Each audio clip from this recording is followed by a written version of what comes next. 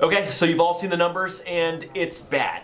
But don't worry, because even though we burned through almost $30 million in just under six months, I have a plan to raise more money and save this company. Oh God, please don't say crypto again. No, this is even better. A. I. Come on in, AI. Greetings, humans. I thought you might like that. So like, what's it do? To be honest, we don't know. But it is generative. We can call it Business GPT. GPT. I like that. He likes that. But what does it even do? I am a large language model, otherwise known as an LLM. Someone say LLM.